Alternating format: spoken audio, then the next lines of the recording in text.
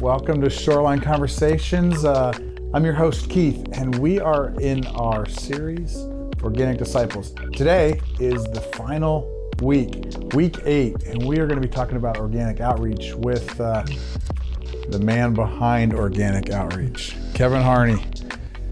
Well, let's just start with that. Yeah. What do you mean, organic outreach? Yeah. Well, years ago, when we started developing, uh, when I became a Christian, I didn't grow up in the church, so I wanted people to understand this amazing invitation we have to share the love of Jesus with others. And so I found out that the biblical word for that was a word that means good news. And we get our English word evangelism uh, from that Greek word for good news. And so people say, well, evangelism, we should do evangelism. We should share, you know, let's share the love of Jesus with other people. And that's evangelism. And then over time, it became clear to me that that term evangelism was, was taking on some negative connotations. Um, and now even the term evangelical, which doesn't mean the same thing as evangelism, and most people don't even know what evangelical means, uh, but that sort of has a similar feel. we don't know if we like that, but evangelism, that word, uh, some people would say, "Well, I don't like evan- I don't like doing evangelism." Some people would say they aren't Christians. I don't like when Christians do that evangelism, trying right. to share Jesus with me. So um, people say, "Well, you know, the Christians feel uncomfortable with it. Sometimes non-Christians right. feel like everyone feels uncomfortable with it." So I want to develop a ministry that helps people do evangelism, the thing that everyone's uncomfortable about. It's like, well, I don't. That doesn't, you know, from a diplomatic standpoint, that doesn't really make a lot of sense, right? Um, and so, you know, there's not not a lot of kids these days that are named Hitler, right? And uh, there was a point where the name Hitler didn't have any bad connotations. It was just, oh, little, oh, you, what a cute little guy that Hitler of yours. You know, it's like, but now it, you can't you can't get away from it, right? So I thought, um, and I know I'm not comparing evangelism to Hitler. No. Uh, I'm just saying that a, a, title and name can take on these connotations where people all of a sudden their mind right. goes somewhere. So if you say to Christians, "Do you want to do some evangelism?" Most Christians are like, "No, absolutely, never. you you go yeah. do that." And if you say to non-Christians, "Would you like to be evangelized?" They're going to say no. Right. And so uh, I thought, well, what, what what is what are we really talking about? What is that? What does that beautiful um, Greek word mean? Well, it means naturally sharing the love of God. Hmm. Naturally reaching out to people that don't know God's love like Jesus did, like Christians have through all history, and let them know about the love of God and the grace of Jesus, what He's done for them. And so I just started playing with, uh, I kind of little market testing, talking mm-hmm. to people, and I said, you know, I was trying to find a term for evangelism, you know, sharing the good news of Jesus in a way that doesn't freak people out and doesn't freak you out. And what I came up with was, you know, at first I was like, well, naturally sharing our faith, naturally talking about Jesus. What's You're naturally reaching out. And I came with, well, okay, organic, something organic, organic here, the, the OO. I, we hadn't made the logo yet, but it's kind of a, kind of a cool logo and uh, it's kind of like the two O's become like the infinity sign. But um, and I came up with organic outreach, and I found that for most people, they're like they're like, well, I would I would like to naturally learn to reach out and share God's love with people. I go, ha, that's evangelism. No, I would do. I just say, okay, well, we call it organic outreach. And so for like 30 years, that's the terminology I've used. Uh, out of that, ended up writing books. Uh, Sherry and I together have written four books on the topic uh, organic outreach for families. How do you share, naturally share the love of Jesus in your home and as a family with your neighbors? Organic outreach for churches. How do you help a church naturally share the love of Jesus? Organic outreach for ordinary people. How do you just personally share the love of Jesus? And then organic disciples is about how growing in our faith helps us naturally share the love of Jesus with others. And so they all tie together. Uh, and so organic outreach is naturally sharing the goodness and the love and the grace of Jesus with people who don't know about him uh, or, or maybe are resistant to it, but naturally share the love of Jesus in a way that doesn't freak me out when I do it and doesn't freak you out when I share with you.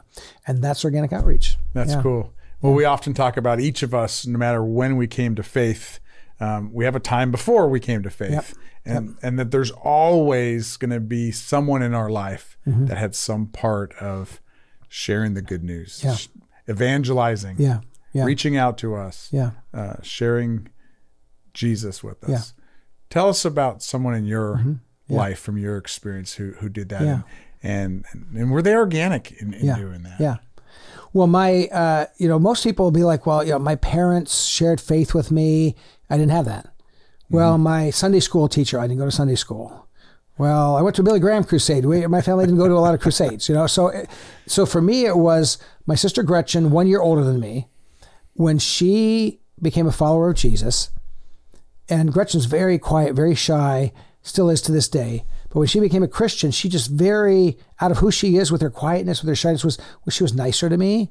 She uh, played this Christian music. It was the advent, the beginning of kind of early Christian rock. So it was uh, Randy Stonehill, Larry Norman. Um, Sweet Comfort Band, all these different all these different groups back Never in the heard any early, of them. early early days pre pre Keith Green, and which is most people don't you know people many would know who that is, but and and she'd play her music and she'd talk about what Jesus meant to her. and She'd invite me to come to her youth group, and and I was resistant and negative, and I was just a punk, and but but she just kept being nice, and so she was she was very organic. It was out of who she was. She didn't get preachy or weird. She just let me know that she loved Jesus and He was changing her life, and and that she was pretty sure Jesus loved me too, and that that um, I, I, she thought I would like some of her friends that were part of her youth group, and so she just kind of did that, and and I eventually came along with her to an event at the church, and and uh, it was you know there was like a thousand high school kids. It was big. It was before mega church, but this big church, and and um, they were really nice, and and they did some weird. You know, there's like a weird little talk. They made us all sit down and do this little talk and stuff. I was like, ah, that's kind of wasn't sure about that, but but there were cute girls there, and so I kept going back. But but she just loved me and cared and shared, and you know she hadn't any classes or any training. She just loved Jesus and she loved me and she wanted me to know that Jesus loved me too. And so I think she did a really good job for a 16 year old girl who grew up in, a, an atheistic home. She did a real nice job. It was very natural. Yeah. Did you give her any credit for helping develop these books then, since she was a great example for you? Absolutely. She uh, she demands 25% of the cut of all the no. Um, I, I let her know I love her, and we we actually get, get along great, and we've become good friends through the years. And and by God's grace, all five of the kids in my family that I grew up in have become Christians. Three of us do different kinds of ministry, and uh, all of us uh, encourage each other and love each other, which is which is a pretty cool thing. And we're all still living, and it's it's a blessing. There's there might be a better time later on in this to talk, to mention this, but I but I'm going to do it right now. You just said five of the kids in your family, Yeah, non-believing family, Yeah, yeah. came to know Jesus. yeah, yeah. I think that's an easy thing to just gloss over, and I don't. I want to make sure that It's miraculous. Yeah, i- yeah. incredible. Yeah, we were not we were not raised to we were we were raised in a agnostic slash atheistic intellectual worldview uh, of kind of uh, of good moralism, but no uh, foundation of that moralism in any divine being. And we weren't even theistic. It wasn't like oh, there's a God out there. It was just a non-deal. Yeah, so it's a it's miraculous. Yeah, So that can happen. it could happen. It That's happen. cool. Yeah. What is inorganic outreach? Um, boy, there's there's so many examples of hmm. people who are people who are, and I think people who try to share the love of Jesus with others and who do it inorganically, they're not bad people. It's not it, they just don't don't think it through. So it, it could be forcing things on people. Kind of pressure tactics that every time I talk to you, I got to get to my script mm-hmm. about Jesus, and I'm, I'm going to push on you and push on you. Um, my wife had a had a, a per- person in her extended family that even though every, everyone in her family, her immediate family were Christians, she was, this lady was such a super Christian. She thought that she was pretty sure they might not be Christians, had to make sure they were saved. So every time they'd come, the kids would literally run and hide under, hide under their beds because this person was so pushy and so overbearing and so uh, demanding that everyone listen to her kind of preach her stuff. Uh, that, that, that feels inorganic. You know, I think, um, friendships that are transactional, I'll be your friend so I can talk to you about Jesus. But if you aren't interested, I really I'm not. I'm just interested in you because I want to get you in the club. I think that that can feel really bad, and it seems very inorganic. Um, I, th- I think that people who have memorized a script and you push the button eh, and burp, out comes my my memorized religious script. Um, that's nothing. You know, if I say to you, we're gonna have a conversation. Um, you know, we begin this conversation knowing we're going to talk about organic outreach, Right, but yeah. we don't know exactly where it's going to go. But if I just meet you and we get chatting, you don't go, okay, here's the script, and, and when you say this, I'm going to say this, and if you say this, I'm going to say this. You have a conversation, you use your mind, you interact, and I think that somebody who comes with this pre-memorized um, every time I've got a, you push the button, I'm going to say the same thing. It doesn't matter if I'm talking with a 85 year old man or a 15 year old girl. It's going to be my script. That feels inorganic. So it, it's those things that are sort of, although I do believe it's good to prepare and to think about what you would say and, and, and think about how you'd share this. And I, you know, we do training for people to share their faith, but to share it naturally, not here's the script, but here's the kind of, here's a way to think and understand and interact with people. And then you have just conversations, you live life. And I know that you make suggestions about what can be said, asks Mm-hmm. that Yeah. questions that can be asked, and here's some ways to go about Yeah. Mm-hmm. doing it. You you just took me back to seminary in my evangelism class, and oh, we were given a script. Yeah. Here's what you do: you go knock on someone's door, Yeah. and here's the questions you ask. And uh, I thought this is just not comfortable at all. yeah. This isn't going to go well for them. It's not going to go it well. It didn't feel me. natural to you or organic. A and little yeah, bit. Yeah. Yeah. Yeah. So, so when you say organic, do you mean easy? Do you mean unplanned? Yeah. Um, Yeah. Or do you mean something a little different than that? I've had people actually say that. Sherry and I were, uh, my wife and I were speaking at a conference, an evangelism conference in uh, Colorado Springs, a couple right before COVID, a couple years ago, and we were talking about this. And there was a guy who said, "Oh yeah, organic. You mean it just? Oh, it just happens. You don't even have to prepare. Just it just happens." And I said, "No, that's not what I mean at all." I said, I, and I told him, I said, "Listen, we live near the Salinas Valley." Where it's one of the largest uh, farming areas in the world, and where if you they say if you have a salad almost anywhere on the planet, there's something in your salad bowl from the Salinas Valley Right. If you talk to somebody who farms and then somebody who does organic farming, and if you say, "Oh, you organic farmers," that means you just throw some seeds out and hope they grow, and it all just happens without. They say, "No, it's more complex because we we aren't using pesticides, we aren't doing certain things. uh, we we have to know when to plant, how to plant. So organic doesn't mean disorganized and fly by the seat of your pants. It means creating an environment where the things that should happen naturally happen naturally. So you create an environment where people's hearts can respond to Jesus, where they can hear the story of Jesus. But it takes a lot of effort to do organic farming. It takes a lot of effort to do organic outreach. It takes prayer. It takes learning to share your faith, to articulate things. But then in the moment, being present enough and aware enough just to have a conversation with somebody. If it goes this way and they're talking about this, it, it's not this. Again, it's not a script. And so, uh, so organic outreach is not uh, unplanned, uh, random. It's actually probably more intentional, more prayerful, and more thoughtful. But it's trying to take people on a journey that is infused by the Holy Spirit and that feels natural to them and you because you're walking toward the one who made them and loves them. Yeah. That sounds very achievable. Yeah. That's a neat thing. Yeah. We always talk about, especially in this this series, we're talking about being like Jesus. Like that's what it means to be a disciple. Is to Mm-hmm. Yeah. when I say being like, obviously we're never going to be like Jesus, Yeah. but we're trying to grow, follow His example. Yeah. What was the mission and passion of Jesus when when He came to this world? As we maybe seek to to emulate that. Yeah, yeah. Well, Jesus himself, uh, you know, spoke of the he came to seek and save that which is lost. He called himself this when when when Jesus says the Son of Man, he's mean he's saying I. He's talking to him. It's a self it's, it's a, a self designation. But he said he came he came you know to seek and save the lost. Another another point.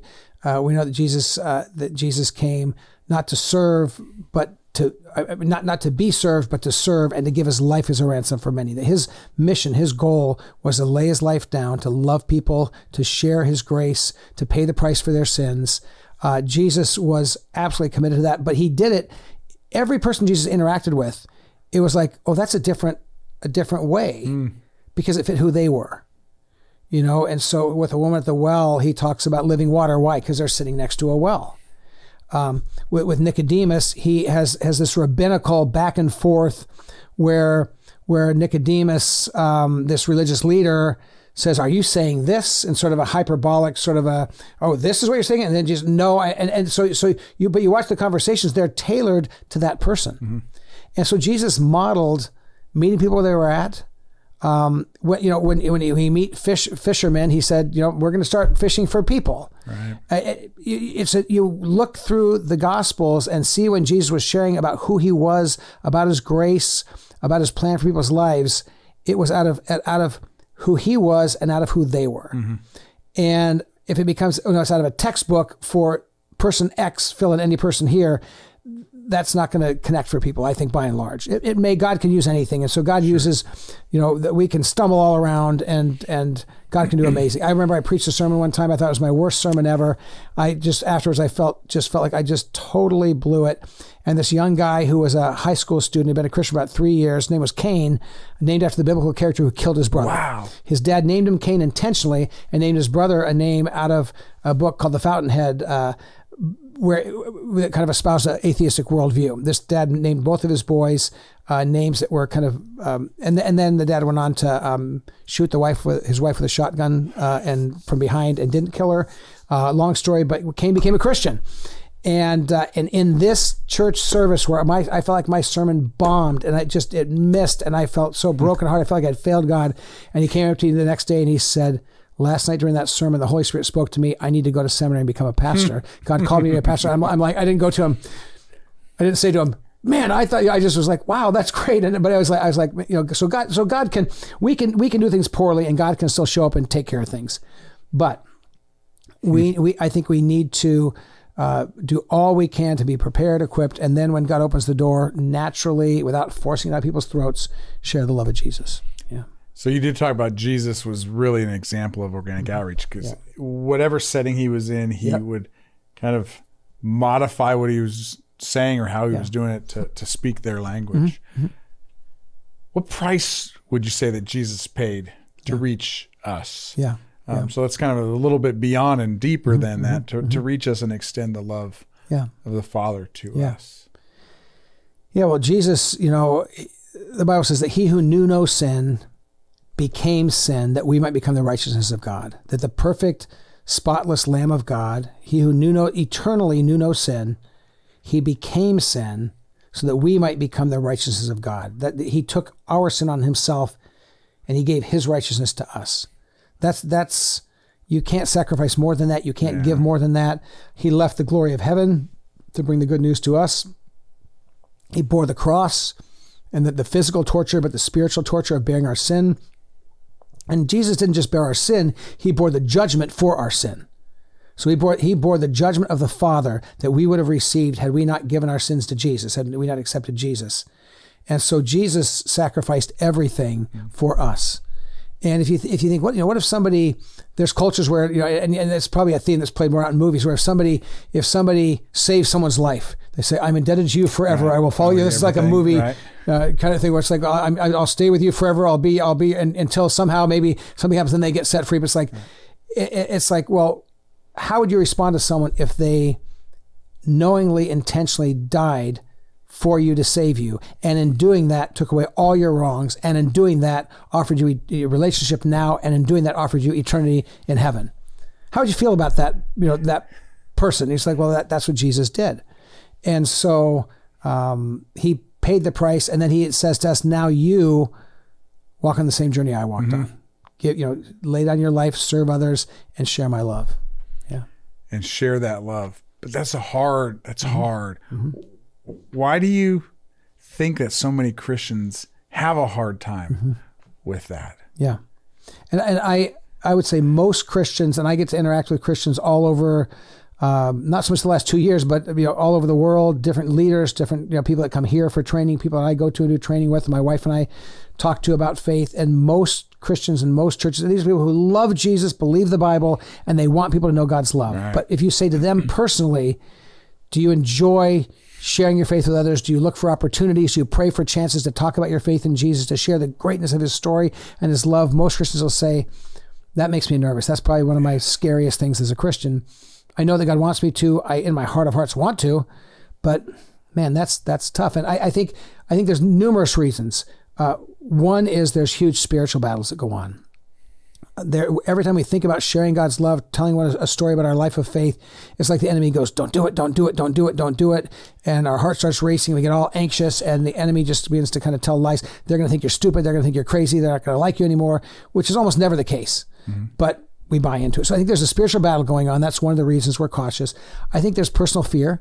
Um, nobody wants to feel like they're different and and kind of uh, even though as Christians we're called to be unique and different. Um, and so I think there's personal fear, and I think another reason that people get so nervous about it is they don't feel like they're really prepared and equipped, and that's one of the reasons why we've developed Organic Outreach International, and we train and equip people, and we create all kinds of resources that we put online for free, so people can learn to tell their story of faith in a natural way and tell the story of Jesus in a natural way. So then when they're talking with somebody, they can frame it and word it however they want to for that person. It's not a memorized script, but it's uh, they feel I could do this. I could talk about my faith in a way mm-hmm. that isn't scaring people off, mm-hmm. in a way that is natural and that, that makes people go, oh, I never saw it that way. Wow, that's kind of interesting. Mm-hmm. And once that happens a couple times, people go, oh, this it's not as hard as it seems.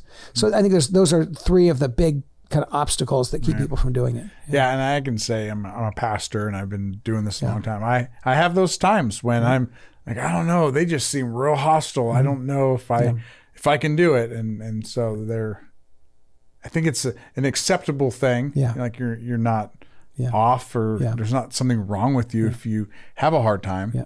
But Yeah. this is a call on us, and so we'll talk a little bit more about what Well, that looks like. And when you've when you've pressed into that and felt nervous and still stepped into it and in a natural way had a conversation or shared something, have there been times where it hasn't been horrible and blown up, but it's actually been you've been like, oh, that that was good. Well, we, we have this this neat thing where we meet monthly, as you Mm-hmm. know. Obviously, it's the one who set it up, and, and we have opportunities to share our stories. Yeah. I've almost always had a story to share Yeah. because I have overcome that. And Yeah. God has has truly used Yeah. those in, Yeah. in amazing ways. And And, I've had some. I've had some that didn't go anywhere. Yeah. Yeah. I've had some that led to ultimately someone giving their life to Jesus. Yeah. And and you know everywhere in between. Yeah. But I I truly have never had a a hostile response. That's what I was going to ask you. Just, is- it just hasn't nobody's happened. punched you or screamed, "You're oppressing me," or run run for the door, right? No. And, and, and so the people say, "Oh, you know, that's not really my thing," or Mm-hmm. "Oh, no, not right now," or "Thanks, anyways." You mm-hmm. know, that's okay. But that's not Right. so bad. No, I mean, and Yeah. I've and I've had conversations and ongoing relationships with people Yeah. that that I've heard bashing Christians, you know, speaking very poorly of them. Mm-hmm. Yeah. Uh, and I haven't even had it with them, you Yeah. know. And uh, and I've got great stories to tell from that as well. But but it really has worked out when I've overcome it. And I think you just talked about spiritual piece to it, Yeah. the spiritual warfare. I think if we really can grasp that, and, and it's a hard thing for me. I'm a I'm a black and white, what right in front of me Mm-hmm. Yeah. kind of guy. Yeah. That's a hard one for me. I know intellectually that it's there. I know in in my study, I know in my experience that there is spiritual aspect to all this. Yeah. I, I do Yeah. know about Satan. I do know about evil powers and all that. But I but I think I lose sight of that often Mm-hmm. in in each situation. And uh, but I think when we when we really embrace that and grasp that, it, it does change the Yeah. way we do it because we also know that as there's the the negative spiritual, there's the evil, there's also God. Mm-hmm. Yeah. There's the Holy Spirit giving us what we need in that. Yeah. Well, we're uncomfortable. You said it from the very beginning. The word evangelism makes it seems like everybody uncomfortable. Yeah. Why why are there so many non-believers you think that are uncomfortable? Or what makes them so uncomfortable about the idea of evangelism? Yeah. Well, it's you know another term that some people use is like proselytizing. You know, you're, you're trying you're trying to change my way of thinking. It's like wait, wait, you're trying to change my way of thinking and to see the world differently, and it could change, potentially change my whole life. And it's like, yeah, kind Yeah. of. It's like, well, okay, there you go. There, you know, that mm-hmm. is like if someone understands what you're talking about. The the last of the five kids in my family to become a Christian was my sister Allison, and she one of the reasons she was resistant is she didn't know what God might ask her to do.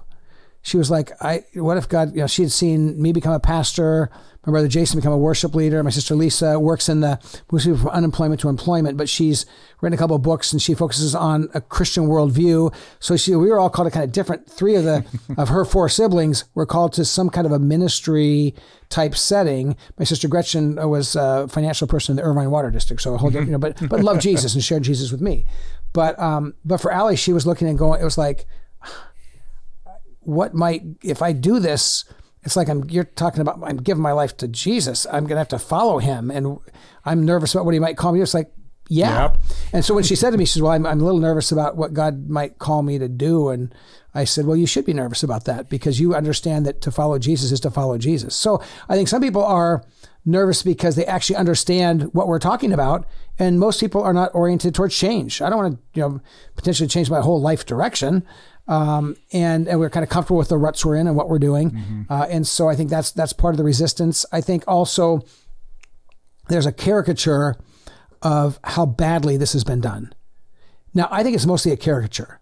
Uh, what I mean by that is this idea of the person with the bullhorn screaming at people on the street corner. There's maybe one in LA, one in Chicago, and one in New York. But there's not tens of thousands of Christians out there screaming at people. But but that becomes this this sort of the lift up is oh that's what it's like. It's your or the person that's the Turner burn. I got the sandwich board. It's got all the flames. It's got some you know, obscure portion of a passage mm-hmm. talking about this or that, and, and I'm going to say turn or burn, you're going to hell, and I'm going to yell and scream. Again, there might be four or five of those people in a couple major cities here and there, but there, that's not most Christians. If if you ask people who are not Christians what do you think about Christians who evangelize? They're going to think about those very negative things, and they might say, "Well, that's terrible, and it's it's forced." There's yelling and screaming, and if you say to them, "Well, has anybody ever done that with you?" They'll, they'll, most of them will go, "Well, no, I, have I've heard about it. I've seen it on you know TV or whatever. I've seen it on," mm-hmm. and say, "Well, do you know people in your life that are Christians?" Oh yeah. Well, tell me about them. It's like, well, my grandma is. I said, well, does she ever yell at you or wear a sandwich board or yell at scream with a blow? well, no, she's like one of the nicest people I know. And what, what's her faith? Well, it seems pretty real to her. I mean, I don't agree with her, but you know, she, and, and well, tell me, and it's another person. Well, there's this, and they, they start talking about the Christians they know, and most of them are pretty unobtrusive. Right. If anything, Christians are not overly forceful. We actually probably need to get a little bit bolder. Right.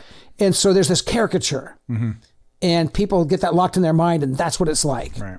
but in reality that's not what most people are mm-hmm. like. Most christians if you ask them do you think you're overdoing it with sharing your faith or underdoing it? Most christians would say probably i'm probably on the underdoing it side of things. I'm sure it's probably not even close. Yeah. Yeah yeah. The, the, actual statistic is 98.3 no i'm just kidding. But uh, just made that up. But but you know but the idea the reality is that's that's not what most people are like. Mm-hmm. And so, but I think for, for non Christians, and then I think another thing right now in this moment in time is the word evangelism and the word evangelical, uh, because they come from the, they come from the same root word. Uh, you know, there was a point at which uh, in the history of the church where fundamental fundamentalism was called fundamentalism kind of morphed and became evangelicalism. And that was and really that just means people who believe that the bible is true that people need jesus to be saved. There's certain things that are just like core things that most christians believe most you know most committed biblical christians would believe. But that term evangelical has been co-opted by some to see it well that's more of a political agenda. Absolutely. that's a more of a more of a um, people who are against these three or four things and not for anything positive. And so if you take that word evangelical, which like I've been a pastor at Shoreline for 13 years. Have you ever heard me from the pulpit or in any setting say, we are evangelical Christians? Not that I can recall. No. No. Thomas, right. ever? We need to be better evangelicals. Let's be evangelicals, people. Yeah, thank God, no. yeah. Okay. Thank you. So, because, but, but you'll hear me say, well, we're biblical Christians. Right. We're Christians who follow Jesus.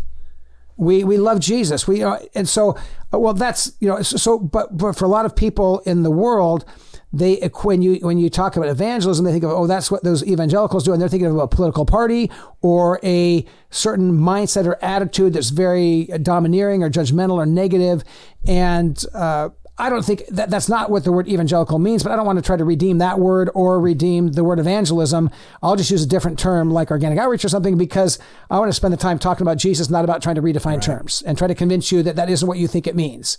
Um, I'd rather start with let me tell you about Jesus and who he really is. So, yeah. Yeah. Would you say that sharing our faith is is optional for us? Is this something we because it's hard, right? And yeah. we're uncomfortable yeah. and people don't want to hear it. So yeah. Is it is this something we can choose to not do? I would say for every Christian who loves Jesus, they've come to the cross and received his grace and they want to live for him. It's not an option if we'll pray for people to know God's love, if we'll love and serve people in the name of Jesus, not an option. Um, telling our stories about how God's good and how He's worked in our lives not an option. We need to we need to be able to share our stories and share because faith comes by hearing, hearing by the Word of God, and then the Bible says, "And how will they hear if someone doesn't proclaim or share the story?" Uh, and so uh, we've got to talk about that, and and then being able to say. Uh, Peter says in 1 Peter 3.15, always be prepared to give an account for the hope you have. That's the hope of Jesus. Mm-hmm. For the hope that you have, uh, but do it with gentleness and respect. So tell about your hope, do it gently and with respect. So I think we need to be able to tell our stories of how he's changed our life and his story. And, and the story is not that complicated. It's, you know, God loved us. He came, he paid the price by dying on the cross. Jesus, God with us. He was in the tomb for three days. He rose again. He ascended to heaven and he offers forgiveness to all who will receive it. It's, it's, it's, you know, you can tell the story in about 20 to 25 seconds. Right. You can also take 25 hours and tell the story with great detail as well. But, um, you know, I, I think that, uh, as as people who are seeking to follow Jesus and honor Him, we can we can find ways to share our faith in a way that doesn't freak people out and doesn't scare us to mm-hmm. death, but that honors Jesus. And so so you know, it's not an option whether or not I'm going to share God's love. I have to learn how to do it in a way that's natural for me and that's natural for the people I'm talking to. And and we can do that, but that's mm-hmm. part of that's something that's intentional and that's why we spend so much time trying to help Christians learn how to articulate their faith and, and do it in a natural way. I think you mentioned in, in this podcast, it may have been one before, um, but it was Uh, you talked about the woman at the well, Mm-hmm. and again, that may have been this podcast. I don't remember. Um, but a big thing was she went back uh, and Yeah. and told people she didn't really know anything, right? Yeah. She hadn't been to any classes, you know, Yeah. didn't have training. Like she just No did it, certification right? whatsoever, No, yes. none. Yeah. Uh, and and one of the, the one of the obstacles you even mentioned earlier was that we feel unprepared Yeah. to do so. I'm thinking that there's a balance in there, right? Yeah. That that we have to have some foundational understanding. We have to have sound doctrine, Yeah. uh, which is you know our beliefs Yeah. um, that have to be biblical. Why is that important Mm-hmm. Yeah. in sharing our faith? That we have a sound biblical understanding. Mm-hmm. Well, you mentioned uh, John chapter 4, the woman at the well, and Jesus meets her, and they have an extended spiritual theological conversation, and we actually don't have the whole conversation recorded there. John is clear in his gospel that there's lots more that can be shared that isn't there, uh, but but but we have this interaction, and she recognizes Jesus as the Messiah, and like she runs back to the town, and she says to people, "Come meet someone who told me everything I ever did." So that's kind of her story. She, this guy knows about me and he loves me. He offered, you know, and then she's then she gets to the you know, personal testimony and then the testimony of Jesus. Could this be the Messiah? Mm-hmm. It's a testimony. So she gave kind of a personal testimony, a Jesus testimony, without any training. I mean, she had just become his follower, and she runs into town. Some people put their faith in Jesus before they even came out to meet him at the well. Others came, met Jesus, put their faith in him. But yeah, she didn't have any training, any equipping. She just shared her story and his story, and that was enough. God can do that, yes. But then also, uh, there's that be prepared to give an account. And so when we do training here and at other parts of the world where we equip and train pastors and leaders and church members to be able to share their story, that to, to think it through, to practice. So every 30 days when we sit in our board meeting, um, we do about 20 to 30 minutes of outreach on training to every one of our board members. And we say we're going to do this every month, every 30 days till Jesus returns. We've been doing it for probably 10 years. So you go 10 years times, and we meet about 10 times a year. We take off July and usually December if we don't have a lot of business to do.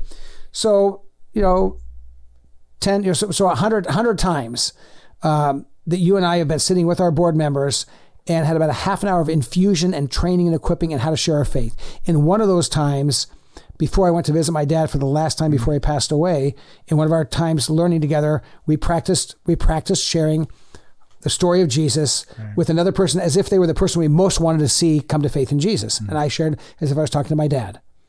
And a short time later, when I was able to visit him on the East Coast, that preparation time had given me a unique new way to organically share with my dad that I'd never thought of before. And that preparation prepared me to share with my dad one more time. And by God's grace and by his spirit, my dad prayed to receive Jesus. So um, good. I've been doing this kind of training every 30 days with groups of leaders for 20 plus years. Right. And I still look forward to it. And I, you say, well, you wrote the books and you believe in this stuff and you're a pastor, you know this stuff. Why in the world do you still need to be talking about this stuff? Because God gives you fresh new understanding and a mm-hmm. new excitement and new energy and new learning to be able to share the story of Jesus, not in one memorized way, but in any dynamic way that the mm-hmm. Spirit leads. Well, and and you know, I think an interesting thing is anything we do well, it's that same kind of thing. Mm-hmm. If you play a musical instrument, you play a sport, you have a hobby, you don't just go, well, I did this before, so now I'm just done. I've got it figured out. You have to keep putting in the work. You Yeah. you you know, teachers have continuing education. Like there's there's always got to be more. Mm-hmm. Yeah. It's no different in this. If we really want to excel, we want to honor God and and to do it well. and even even prodigies are not prodigies. Right. If you know Malcolm Gladwell uh, wrote his his book Outliers, and I love I read almost everything I get He's my hands on that he, he writes, and and Outliers talks about people that, that are exceptionally above and beyond good at something, but what he looks at is all these people that we think are prodigies. Um, they just spent thousands of hours practicing, and people, Earlier? yeah, yeah. it- it's like, oh look, and so, so you, you hear a person play piano, and you say, "Oh, you're such a natural," and they're like, "Do you know how many thousands of hours it took to to sound this natural?" uh same thing with sharing our faith. Uh, we can prepare, we can pray, we can practice. Um, other things that start with letter P, uh, but but but there's a point where we start to also share and and talk. But the preparation really does set the table for that. Yeah. We talked about why people don't like the word evangelism. Um, both Christians and non-Christians, believers and non-believers, um, and and that gets in the way sometimes. I think of of Christians sharing their faith. What are some other things that that get in the way of Christians sharing their faith? Yeah. Well, I would. I think I'd circle back to some things we talked about. You know, Yeah, pers- pers- personal fear. Uh, how are people going to respond to me? Uh, because some people may not like it. Some people may push back. Uh, I think people people don't feel like they really know what to say or how to say it. Then they have people who just are quieter. They're Mm-hmm. not. They're not real uh, chatty to start with, right? And so that's why that's why we talk about organic outreach, sharing in a way that's natural for you and natural for them. Mm-hmm. And so, it, if you're afraid because you don't feel prepared and equipped, then take some time to get prepared and equipped. Right. Equipped.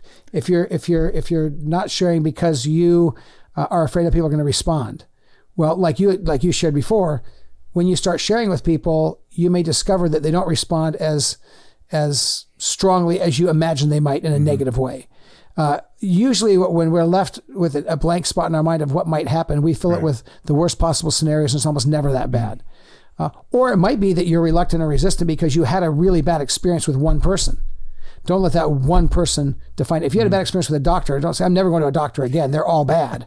no, you had a, you had a bad doctor. Right. But it doesn't mean, you know, so, so if somebody had one bad experience to say, you know what, I need to have a couple more positive experiences to kind of balance that out and keep keep pressing forward. Well, you beat me to the punch because that's where I was going to go to. Here's some things that prevent us from sharing. How can we overcome them? And those are some great natural Yeah. steps. yeah. I love a story. Um, and I know you talked about um, doing a kind of a walkthrough prior to meeting with your dad and being able Yeah. to share with him again. Um, can you share another story that's maybe like a journey that you've Mm-hmm. gone on with organic outreach um, that can give us like a, maybe a fuller picture of what, Yeah. what this Yeah. looks like? Well, we I, I mentioned uh, I've mentioned I think in one, in one of the podcasts about having a uh, on, on community having a small group of friends that I fish with. I'm not into fishing. Uh, when I, I go with this group of friends to fish about once a year, and between those that trip and the next time, I don't fish. I don't freshwater fish. I don't saltwater fish. I don't. Uh, Deep sea fish or lake fish, I don't fish. I go, I enjoy being with these people. Well, one of this group of, of guys uh, was uh, a non believer. And the first time this group went down together, I wasn't there, but a guy Nabil Qureshi, who uh, who has who died of stomach cancer, but was a good friend of Shoreline Church and a good friend of mine in Sherry's. He was part of the group that went down there fishing. And the first time we went down there, he got talking with this guy, and every night uh, they'd they'd sit for like three four hours and and talk and debate. This guy's a Cornell grad, very sharp guy. And uh, they just debate and talk and have a lot of fun. Not not nothing hostile, Right. totally organic, but just like I don't believe that. All right, what about this and what about that? And just great, you know, great conversations. The next year we were all down there, and there, and then I was there as part of that group, and Nabil was there for the next couple of years. Every night we'd sit for two, three, four hours and just talk about life, about uh, about the world, but about faith. And we'd agree to disagree. We'd have very different perspectives, and it would be it could it could get really hot and fiery, but not mean. You know, just intense and yeah, well, well, yeah, and pushback and disagreement. And then we then we you know hang out and go fish the next day and have meals, and we we you know nobody hated each other, but we just disagreed. Uh, and so year after year. So then two years ago when we went, there were four of us that went. And by this time, Nabil had passed away. He was with Jesus, but um, had some great spiritual conversations. And this one, this one person was clearly his heart was growing more and more open, but uh, it just wasn't there yet. And I, and I even at one point said, "You know, where are you at? Are you ready?" He said, "I got too many questions, too many things." No problem. You, know, so you don't have to. You know, you don't force people. That's not. There's nothing organic about. Uh, you know, there's a, a book I read years ago called "The World Changers" about evangelism. Or they didn't use the term organic outreach; they use evangelism. And the cover of the book is a picture of a Muslim man laying on the ground. It's a drawing, okay? Muslim man laying on the ground, a Christian crusader on a horse with a lance right up against the, guy, the guy's neck. I mean, like right there, about to pierce his throat. And the, the guy laying on the ground is saying, Yes, tell me more about this Jesus. I'm terribly interested. um, and, and it's like it's a it's a great, great. It's like you know, that. It's is that. There's nothing organic about that. There's and, and Not even a little bit. and if somebody then says, "Okay, I'll believe whatever you tell me to believe," do they do they actually believe it? Right. So we got to this point at the end of our time where I, I asked him where he was at, and he just said, "I'm not there yet," and say that's all right. And we maintained that friendship over time. Went back again this year and uh, went fishing. And the second to the last night, the second to the last night, I um, we talked about faith again. We had a great conversation, and I just felt like it was time to ask him if he was at a place where he was ready to receive Jesus because his heart was growing a lot more open. You could see it, and he, his questions were were warmer and less intense, and his listening was very active. Always an active listener, always a great thinker. Um, and I asked one of the guys, I said, why don't you share a Bible passage that you think would be meaningful to this this person? I asked, and then the other one actually had stepped out of the, out of the we were out on the on the um, patio, kind of overlooking the ocean. And one of the guys left for a couple minutes. He was doing something else. He came back after this one person shared a Bible passage. That I, I, and I hadn't told him in advance we were going to do this. I just, you know, what's the passage you think would really speak to this friend of ours who's searching spiritually and asking a lot of questions? he shared. The other guy came back. He'd been gone the whole time. And I said, Hey, do you have a passage you could share that you think would be meaningful? Exact same passage. And I said, I was just like, I, I was kind of like, listen, it's like magicians. We've never met each other, right? right? We, didn't, didn't plan this. This, right. wasn't, you know. And I said, of all the passages in the Bible that these two guys could think of for you to think of the same passage, that means something. And so this other guy shared about um, mm. about what it meant to him and what, what he thought could speak to this guy as he was kind of trying to figure out the whole Jesus thing and consider receiving Jesus. And then I shared a little bit, and then I said, "Can you think of any reason at this point that you wouldn't give your heart to Jesus?" And he said, "No." He said, I think I'm ready. And I did something I wouldn't normally do, but I said to him, listen, let's talk about this tomorrow night. I said, I want you, I really want you to take the next 24 hours and think about it and just say, God, if you're really there and, and grab and just, and we'll come together tomorrow night and we'll talk again like we do every night. And maybe something else has come up, but I want to make sure that you, you don't feel any sense of pressure. It just felt like for him with his intellectual background, I didn't want him to feel he was being coerced in any way. Go through the next day, had a great day, sat down that night. And I just said, right, the, I said, I said, well, where are you at? And he said, I'm ready. and this guy who, who, you know, seven years before was a staunch intellectual atheist, still with lots of questions, but had enough questions to answer to respond to Jesus. We prayed together. He received Jesus, and we were right near the ocean. I said, What would you think? And two of us that were there were pastors. So, what do you think about walking down to the water and just baptizing you right now? And he said, I'd like that. And we did that. And then I ordered him, uh, I uh, went on Amazon, and ordered him a great NIV study Bible and it got to his house. I think the day after he got back home again. We all read the Gospel of John together for some learning and some growth. While we sat in the airport, before we parted ways, we were kind of heading different directions. We sat in the airport. He said, Now, I'm a Christian now. I believe I'm going to try to follow Jesus. He says, But I'm not going to church. And I, there's certain things I'm not going to believe. And I said, That's fine. I said, You know, just start with walking with Jesus. Mm-hmm. And and he said he wasn't going to go to church. Well, then about a month and a half later, he came up to Monterey because we were going to cook a bunch of the fish that we had caught and hang out together and talk about the Gospel of John, which we've been reading. About two hours of conversation about the, he had such unique insight and beautiful insight to the Gospel mm. of hmm. John, the person of Jesus, questions he was asking. He was reading the notes in his study Bible, and just he's, he's a thinker. He's you know so he digging in, and we had a great time talking about that. And then that was on a Saturday night. He was staying over till the next day. And so he said, I think I'm going to come to church with you guys in the morning. Well, one of his deals was, I'm not going to go to church, right. right? And he came, and afterwards he, go, he goes, he goes, yeah, you know, that, that was, you know, I, I kind of like that. That was, that was, that was good. You know, he was like, mm-hmm. not, he wasn't all in, but he was like, it wasn't terrible. And, and he said, he said, you know, and as I looked around, he said, these people, they really believe this. They re-, and I said, yeah, I said, I said, most of them. You know, there's some that are there that, that, are like where you were at. They don't know believe in Jesus, but I said, but a lot of them, they, this is this is deep and this is real. And so so that was kind of a next step, and we went on that journey. And so and again, the journey doesn't stop when somebody becomes a Christian. Right. It just continues as you're walking together and as Christians toward Jesus. Yeah, so. I, I, This hasn't been that long, but I've heard that story in yeah. multiple settings a bunch of times, and it yeah. continues to to resonate with me and hit me. And I want to make sure that uh, those listening to this this podcast get this. This was a journey. Oh yeah. Right. This wasn't so day seven, one. Years, right. Yeah. This wasn't day one. Hey, I'm going to yeah. share Jesus with you. Bam, he's in. Yeah. yeah. Like this. This took a lot of time with different approaches, different people for a long time, and ultimately landed there. And so uh, it could be easy to give up somewhere along the way and not not endure with that. Mm-hmm. Um, but but when you see the, the end result, and again, it's not even the end result, right? The current result, you know, yeah, which is yeah. fantastic. And I would say this with all my heart.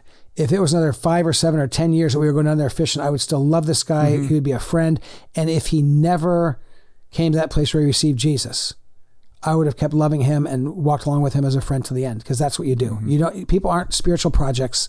They're people loved by Jesus who he gave his life for, and we need to love them the way he loves them. And so it's not like you're my, you're my, um, religious duty. It's not you're my friend, mm-hmm. and we're going to walk together as friends. Yeah. Would you say that churches as a whole? We, we talk a bit about individuals and our mm-hmm. your personal journey, journey, and you happen to be a pastor at a church who's leading organic outreach.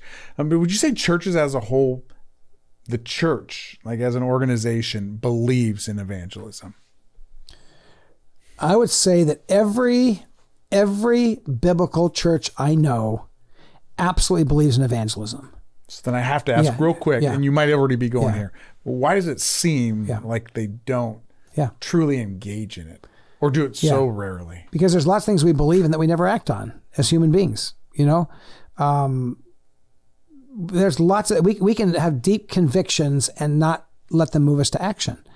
And so uh, I would you know I would say every church I know that's a, that's a Bible believing Christian church would would they might have a mission statement. They might have a you know a sign over their door as you're leaving that says you're now entering the mission. Right. You know the the, the world and, and they and they they believe it, but the vast majority of churches that we work with through Organic Outreach International, and this this this goes from you know, Honduras and El Salvador to New Zealand, Australia to Kenya to Uganda to um, India and Sri Lanka. I mean, we've we've done work all over the world.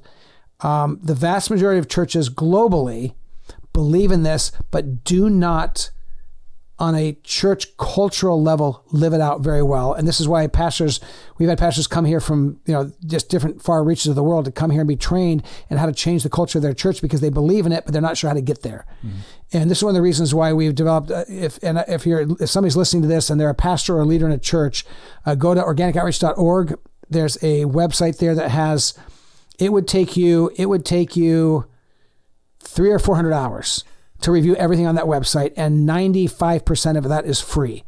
There's some things that we do, uh, services we offer, coaching, training, uh, videos you can download an entire, like an entire 10 hour training that are monetized, and that helps underwrite the cost of the ministry. But 95% of this stuff is free, including a seven year curriculum on changing the culture of a church. And right now we have it, I think it's in seven languages, or I, know- I know, I know it's in English, Spanish, uh, we've got a couple of languages for India, one in Africa. Uh, and so, anyways, uh, but almost everything on the website is free. We, we spend all this time create these resources and put them out there for free because we know that churches want to go down this road and aren't sure how to get there. Mm. And so we want to do all we can to help churches and movements and denominations do this. And Organic Outreach International exists to partner with believers and leaders and churches and movements mm-hmm. and help them go out with the gospel in natural ways. And so it's it's churches believe in it. Very few do it well. And if they make that decision to do it well, it can be transferred. And it makes the mm. church so dynamic and so exciting when you walk down that road. And, and we did just talk about the church as the organization, but the church is, as we always say, is, is the people. It's made up of the people. What can, and you've touched on it a bit, but I want to make sure we really hit on this because I'm again always about the practical. What can we Yeah. do? What can just your app, your ordinary? Right, you wrote a book about Yeah. that, right? Organic outreach for ordinary people. What can an ordinary, mm-hmm. Jesus loving Yeah. Christian do to engage more fully in, Yeah. in sharing their faith with others? Well, there's some easy automatic things. First, start praying. Pray for people that are far from Jesus. Pray for yourself to be bold and courageous. Um, Jesus, Jesus told us to pray, therefore, that the Lord of the harvest will send workers out to the harvest field. His prayer at that at that point when he says the harvest is plentiful, the workers are few. So you pray for yourself and for Christians to go out to the harvest field. He didn't say pray for those hard-hearted pagans. He said pray for Christians who aren't going out. So pray for yourself, pray for the world, pray for the lost, uh, and then get near people, hang out with people that don't know Jesus. If you've isolated yourself, build some new friendships, re- reconnect some old friendships of people that are far from Jesus. Even if it makes you uncomfortable, that's probably a good thing to be uncomfortable a little bit sometimes as a Christian. Uh, learn to articulate your faith. In the book you mentioned, Organic Outreach for Ordinary People, we go through like eight or nine different ways to share the faith because with different people in different settings, it's not going to be the same. And so learn to share your faith, practice sharing your faith, articulate your faith. Um, we, we, I had a while back where I was trying to figure out how to share the faith in the simplest way I could think of. And I came, I finally came down to eight words in four little couplets of two words each. And uh, the letters that start each of the couplets are G O G O. So it's go, go, and so go therefore and make disciples of all nations. And so, uh, and, and so those those four words are to, to share the whole story of Jesus, God's love, then our problem, God's solution, our response. Those eight words. If you okay, if you could share with somebody God, God's love. There's a God who loves you. He knows everything about you. He still loves you, and He pursues you. God's love. Our problem. Everyone has, has a problem. We've wandered from God, and you can share Bible passages. All have sinned and fallen short of the glory of God. But you, you know, the, our problem is that sin separates us from God, from each other, and we live under the judgment of sin. So God's love, our problem, and then then God's solution, the next G. and that is Jesus. Jesus, God came among us. He gave his life on the cross. He paid the price. He took our sins. He died in our hmm. place. Three days later, he rose again. He ascended to heaven. So, so God's solution is Jesus. And if you receive him, he'll transform you. So you have, it starts with God's love. Our problem is sin. God's solution is Jesus. But then finally, our response. Mm-hmm. What are we going to do about it? Jesus doesn't force himself on us. He offers himself to us. Mm-hmm. We shouldn't force Jesus on people. We should offer Jesus to people. So our response is will we receive the gift of grace? Will we receive Jesus Christ? Mm. And so I tell people you with eight if you can remember eight words, you can share the story of Jesus. And I have had a just numerous people through the years that have learned that simple that, that little mnemonic, that little simple eight words, those four little couplets, G O G O. Say I had an opportunity to share Jesus and I would not have been ready, but I just just like, okay, well, you know, for, I just want to talk to you about how there's a God who loves you. And they just talk about that. And, but, you know, we have a problem. Our problem is sin. And, but you know, here's the good news. God has a solution. He sent Jesus. So uh, what's our, what's our response? Here's how I responded. I received Jesus. How do you respond? And they're like, I could do this because they have those simple hooks to kind of place things on. And that, and so, so get equipped, get trained. And then when God gives opportunities, pray, open your mouth and share something. You also write about how there's different um, styles that we can have Mm-hmm. in how we share our faith. Uh, one of them, I love a story, and one of them is your testimonial. Yeah. So that's uh, that's telling your story. Yeah. How can our story of faith impact Mm-hmm. the lives of those who who are spiritually curious? Yeah, yeah. Yeah. Well, I think our stories are powerful because they're our stories. Hmm. We live in a world where people say, well, you have your truth, I have my truth, and you believe this, I believe that. But in that kind of a kind of a setting, say, okay, well, this is my story. Hmm. I'm not telling you what you have to believe. I'm not telling you what you're right or wrong about.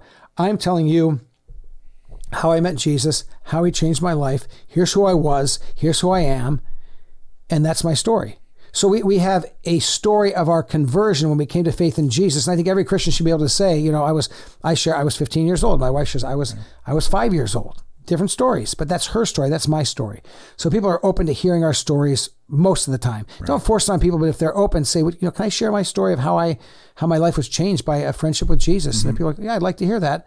Share your story, how he transformed your life, changed you. And when you share that story, be sure you share his story. So when I'm telling my story, I say, so this is so this is how I my life changed. I went to this youth group when I was 15, and, and I heard this message about uh, this, and and then my, my sister was sharing this, and this guy Doug was sharing this, and and they shared about how God loves me and how how I was separate from God, but how I could receive God through faith in Jesus, and and that He paid the price. And so I I share the gospel, those eight words, the, those those you know. God's love, our problem, God's solution, our response. I share that in my story about how I responded. So I'm not saying you need to do this. Right. I'm saying this is what I did. And they'll say, does that, does that make sense to you? And would you want to talk more about that? And, and some people will be like, that makes sense, but I don't want, I remember one time with my dad years before he became a Christian.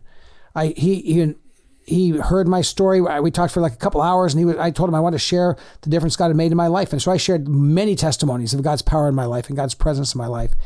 And at the end of sharing those things, I said, Dad, are, where are you at? Are you ready to learn more or maybe take a next step towards Jesus? And he said, he said, that's good for now. and I'm like, okay. And the organic response is to go, okay, well, we'll talk again in the future, but you're good for now. That's good. Mm-hmm. And people are like, well, what if he dies tomorrow? And then I, I didn't force him to believe in Jesus. Well, forcing it on him, becoming inorganic, doesn't help the cause. And the next time we were together, and the next time we were together, we talked about Jesus a little bit mm-hmm. more in, an, in another setting, in another hopefully natural way. So you just said you told many stories. Yeah. Elaborate on that a little bit, what that means, right? Because we did Yeah. just talk about the Yeah. conversion story. Yeah, well, that time I went to see my dad. I was living here in Monterey, where we are now, and he was living down in Orange County still before he moved to live by my sister Elisa on the East Coast. And so he was living in, in uh, down there, and I called him and I said, or I sent him a text. I sent him a text and I said, Dad, um, I know how much you love me. I know you've heard my story of Jesus at different times in different ways, but I'd love to come down and just take you out to lunch, take you to Mimi's. That was his favorite place to eat, uh, Mimi's Cafe, and just buy you lunch and spend a couple hours and just share with you about the the many ways God's made a difference in my life. Would that be okay? And I got no response back for a little, you know, for a number of days. So I Like, oh, okay, no. maybe you know. So I reached out again. I said, Dad, I don't, you know, I never want to push you. And I sent another text. I never want to push you. I never want to bug you. But did you get my text? And would you be open to that? And then he responded back and he said, he said, well, I was taking some time to thoughtfully craft a response, which is how my dad, dad, wrote right? and talked. Yeah, and. uh I said, okay, you know, I went, we went back and forth, but, and, but he said, but you know, he said, I'd love to have you come down and I'd love to to have lunch and just let you share whatever's on your heart. Great. So we just, so for like two and a half hours, uh, I just shared every story I could think of from the day I became a Christian till that day of how God had worked in my life. And so I, I say we have a testimony of our conversion, but we have hundreds of testimonies of God's presence, God's faithfulness, God's power, God's healing, God's grace. And I just shared story after story after story. I shared stories about how Sherry and I had experienced God's leading in our lives in very specific ways. Mm-hmm. And whenever I talk about, and this was after my mom had passed away, when I talk about how Sherry and I, how God would move in our lives in a very powerful way, uh, tears would just well up in his eyes. And my dad's not a teary kind of guy. Um, but but it touched his heart to see how God would speak to Sherry and I together and keep our hearts bound mm-hmm. together. That meant a lot to my dad. And so yeah, so so for like two and a half hours, I just shared story after story of how God had spoke and how God had led and how we were led to how we were led to Shoreline Church and how there was a clear leading of God and there was no denying it. And so just testimony after testimony after testimony. Mm-hmm. And he received those, was really open. But again, at the end of that time, he wasn't there yet. He wasn't ready to make that commitment. It's like, well, at that point, the organic thing is to say, hey, that's okay. We'll just keep talking. And, you know, I'm your son, you're my dad. We'll keep walking this road together. And we mm-hmm. did. And we did all the way to where he stepped into the arms of Jesus. So I, I love the idea of having a bunch of stories. Yeah. And when Jesus, we talked earlier about Jesus, uh, whether he's talking to, to Nicodemus, mm-hmm. he's got an approach there. If yeah. he's talking to the woman at the well, he's going there. Mm-hmm. Um, in, in my life, I, I've got lots of stories. Yeah. And I mean, if, if I'm talking to someone who's struggling uh, it, with a child, mm-hmm. I can tap into that mm-hmm. Bag of stories of where God has shown up and made a difference. If, if I'm talking with somebody who's struggling with drugs and alcohol, I can go back to the time when I was in drugs yeah. and alcohol, and yeah. I can tap into that. When someone's got a, a, sickness that they're dealing with, I can go into one of my stories where God showed up in healing. Yeah, um, relationships, the same thing. And yeah, when we, but we have to, I think, spend some time. Yeah. Even thinking through these, right? Like we've got to, mm-hmm. we've got to prepare, mm-hmm. maybe, but but at least recognize when God has showed up. All of those times in your life that that and he's been there for you because yeah. I think it is easy just to focus on that conversion yeah. and kind yeah. of forget all of the rest. Well, I think sometimes we look at it like uh, if you're going to do, you know, if you're going to work on different things, you need different tools in your toolbox, mm-hmm. right? And if you open your toolbox and all there is is a hammer, or it's or a sledgehammer, right? So like the other day, I couldn't get the. I've got this. Uh, I've got this big briefcase that when I travel, I do because I carry lots of books and stuff, and it has this handle that goes click, click, click, click down. And you push a button. It's a, a Swiss oh, Army yeah. thing, and it click, click, click up. Well, I, it wouldn't go down. It wouldn't go down. Well, I needed this tiny little screwdriver uh, that had a star on the end, not a, not a Phillips head or a flat, a star, and it was really small. And I found someone who had something, and I could get in there. And once I tightened those up, because it, it, would only get on one, it wouldn't go down. I couldn't get on the plane, right? So I tightened these things up, and click, click, click. It's good as new, right? Uh, if I had tried to sledgehammer on that, uh, trust me, it would have it would have done more damage than good, right? It might have gone down though. It, I could I could have I could have hammered it down, but it would never, you know. And and I think when it comes to sharing our faith, it doesn't ha- hurt to have more tools in the toolbox, more stories to tell, more ways to share the gospel.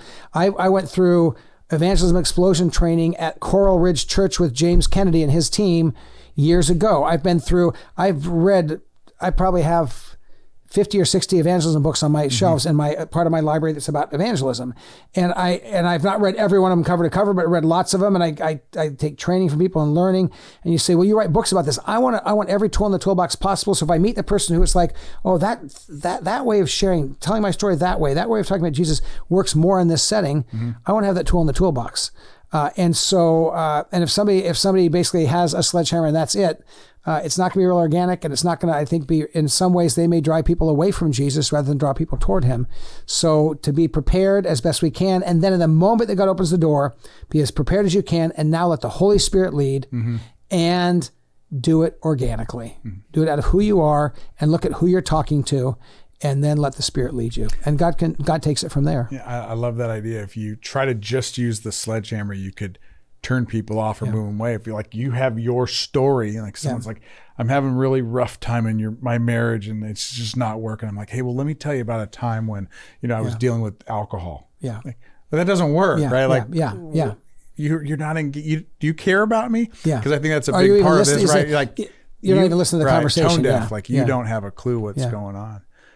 Um, so we want to be prepared. We want to have looked at our stories. We want to be able to recognize what God has done at our point of conversion and throughout our life. Yep. Beyond that, what what what's the next step, or maybe a next Mm-hmm. couple of steps that that we can take right Mm-hmm. now in order to engage in a lifestyle? And I think, and, I, and I really think it is. It's a lifestyle of organic outreach. Yeah. It's not like a thing we do, but Yeah. this is like a call on Yeah. on believers. How, how do we do that? I would say first recognize that that not only are you called by God to to shine His light, to scatter the seeds of the gospel, to be salt in a world that Jesus talks about. You're the light of the world. You're the salt of the earth. Uh, scatter the seeds. Not only recognize that you're called to, but that you can do this. To say I, I can do this, and and and yes, only a small percentage of Christians have the the calling and the unique calling and ministry and gifting of an evangelist. I didn't know when I became a Christian that I was an evangelist. That's one of the ways God's gifted and made me. I just knew that everyone I knew that didn't know Jesus, I wanted to share Jesus with, and some of them became Christians. Or I mean, I didn't I I didn't know even quite how to share things, but I shared, and they wanted to know more about Jesus, and I I tried to learn enough to be able to talk to them about it because it was all new to me.